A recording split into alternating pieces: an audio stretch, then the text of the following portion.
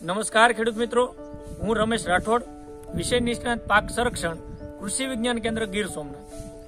ખાસ કરીને અગાઉ આપણે જીરુની અંદર આવતા બે ખૂબ જ અગત્યના રોગ, એટલે પહેલો રોગ કાળિયો અથવા જર્મી જેને કહેવાય, અને બીજો ભૂકી જારો એના સંપૂર્ણ નિયંત્રણ સુધીની વાત કરી.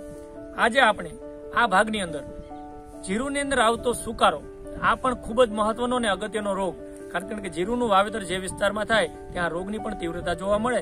તો આજે એની આપણે રોગની ઓળખ એનું નુકસાન, એને કેવા પ્રકારનું આબોહવા અનુકૂળ આવે રોગને, અને એનું સંકલિત નિયંત્રણ કઈ રીતના કરવું જોઈએ એની વાત કરીએ.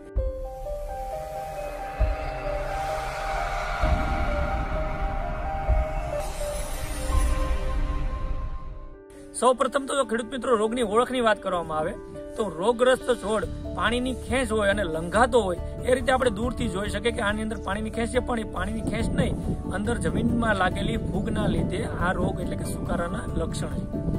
તંદુરસ્ત છોડની ઉપરની જે ખૂણી ટોચ અને ખાસ કરીને ડાળીઓ એકદમ નમી પડતી હોય અને સુકાઈ જાય રોગ શરૂઆતમાં ખાસ કરીને ખેતરમાં કુંડાળા સ્વરૂપે. એટલે કે ખેડૂત મિત્રો જેને ખળી પડે એવું કહેવામાં આવે અથવા તો ગોળ રાઉન્ડના પેચની અંદર આ રોગનો ફેલાવો થતો જોવા મળે અને છેવટે ધીમે ધીમે આખા ખેતરની અંદર આનો પ્રસરણ થતું.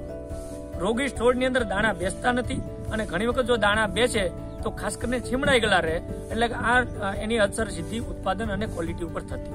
રોગી છોડના થડને, ખાસ કરીને ઉપાડી છોડ, અને થડને જો શીરવામાં આવે, તો એની અંદર જે જલવાહીનો છે, એ બદામી અથવા તો કથ્થાઈ રંગની થઈ ગઈ હોય, તો આ વાત થઈ આ ખાસ કરીને સુકારાના, જીરુની અંદર આવતો સુકારાના રોગના લક્ષણોની.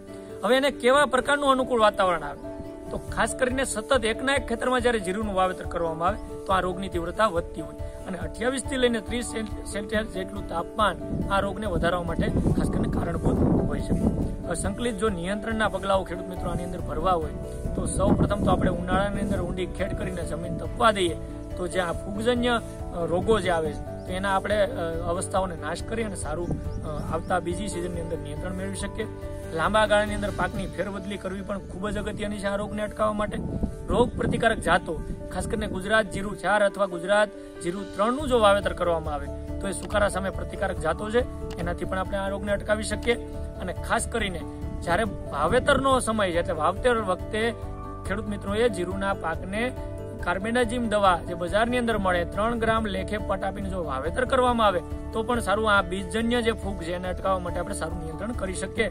ત્યારબાદ સારું કોવાયેલું છાણિયું ખાતર જે છે, એ એક હેક્ટરની અંદર દસ ટન અથવા તો દિવેલીનો ખોળ, એક હેક્ટરની અંદર અઢી ટન લેકે જો નાખવામાં આવે, તો પણ આ રોગને અટકાવવામાં આપણે સફળ થઈએ.